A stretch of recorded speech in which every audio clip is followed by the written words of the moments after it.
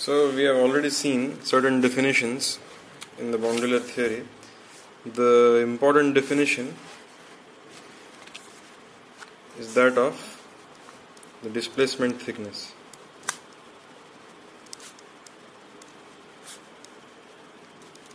Which is defined as delta star is equal to the integral 0 to infinity 1 minus u by u infinity dy.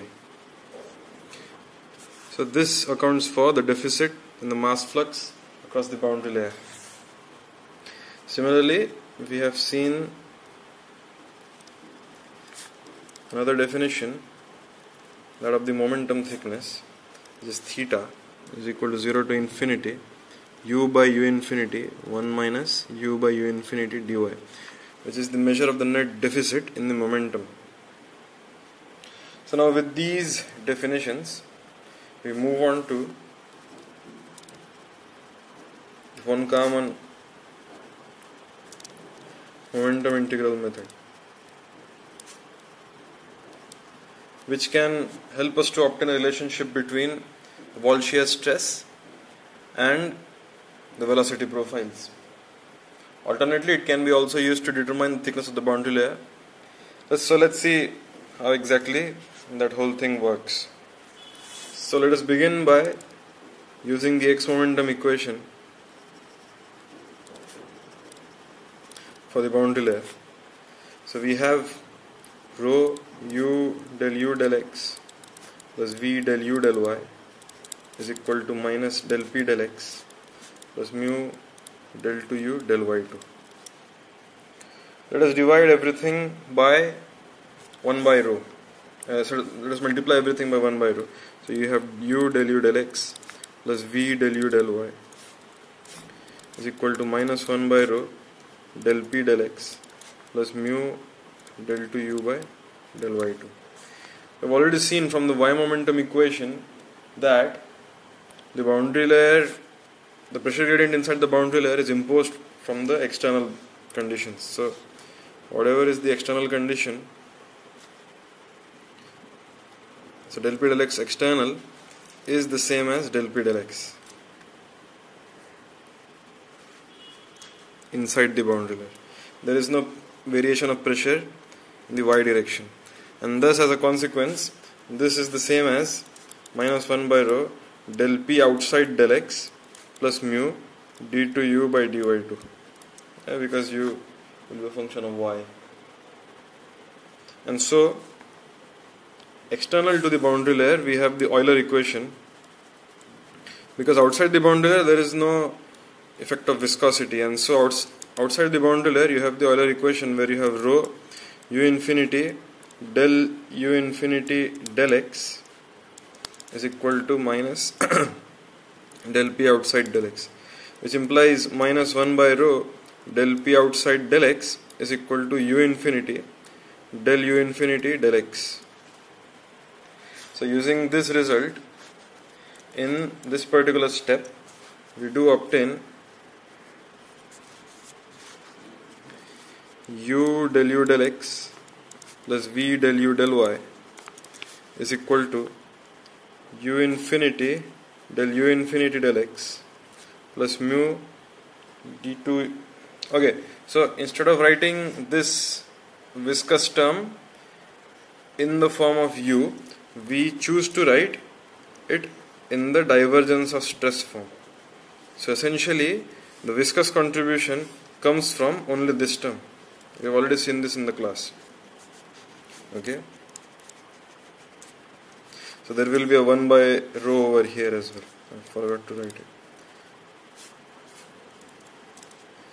So viscous term is del del x tau xx plus del del y of tau xy we've already seen this in the Navier-Stokes equation. So del del y of tau xy is what appears over here.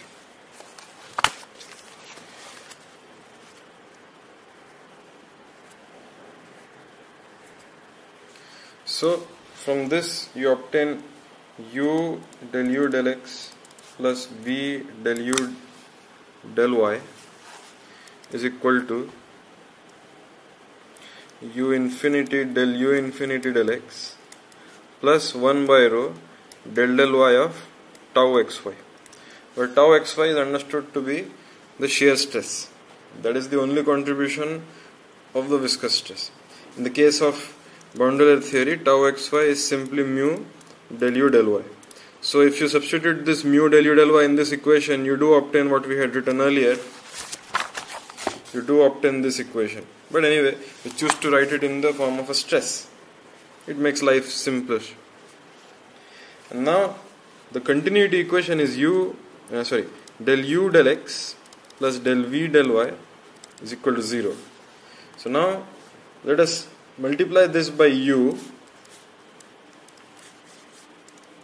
So multiply 1 by u and add to 2 so u del u del x plus u del v del y. This is the contribution from multiplying u to this equation and adding it to this. So plus u del u del x plus v del u del y is equal to u infinity del u infinity del x plus 1 by rho del del y of tau. We just call it tau for now essentially we've just added 0 to the left hand side of this equation because continuity implies this. So these two terms combine to give 2u del u del x and then these two give us plus u del v del y plus v del u del y. This is equal to the usual left hand side. This particular term gives us del del x of u square. And this particular term gives us del del y of u into v is equal to u infinity del u infinity del x plus 1 by rho del del y of tau. Okay so so far so good.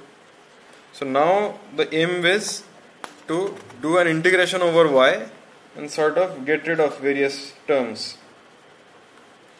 Okay so the aim is to obtain the wall shear stress. So we must integrate whatever we have whatever we have over the boundary layer so that you don't need to really look into what is going on microscopically but you obtain the behavior on an average. So u let us integrate everything in y. So integrate del del x of u square dy 0 to infinity plus so now integral of del del y of u into v dy 0 to infinity is equal to u infinity del u infinity del x integral 0 to infinity dy plus 1 by rho del del y of tau integral 0 to infinity. So, because u is so what are the, uh, the what are the simple uh, simplifications that we can do directly? So this term is simply u into v going from 0 to infinity. And this term will be simply 1 by rho del del so del del y dy will simply give us tau 0 to infinity. And let us retain the other terms.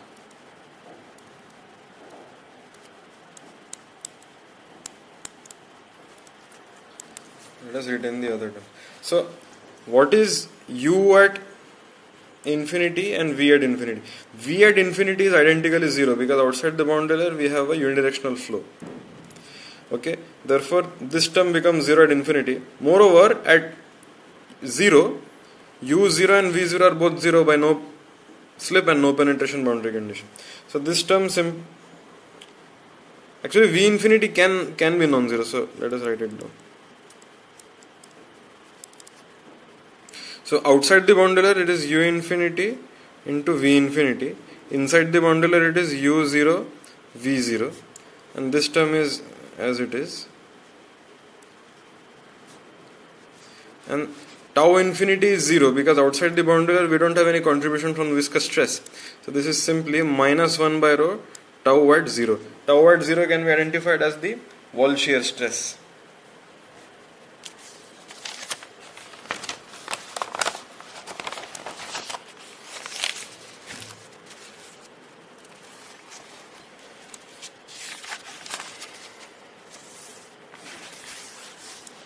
we have integral of d dx of u square dy plus v infinity u infinity minus u0 v0 on the left hand side. This is equal to integral of u infinity du infinity dx dy minus tau 0 by rho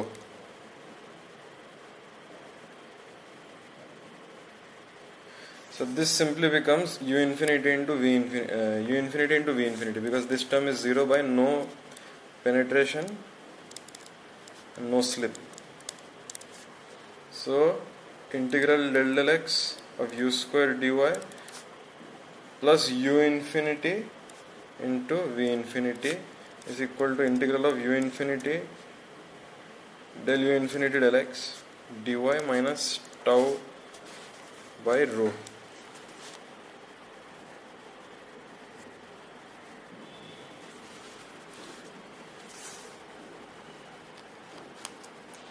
So from the continuity equation we have del u del x plus del v del y equal to 0. Let us integrate this in y. So integral del u del x dy 0 to infinity plus integral del v del y dy from 0 to infinity is equal to 0 which implies integral del u del x dy from 0 to infinity plus v infinity minus v0 equal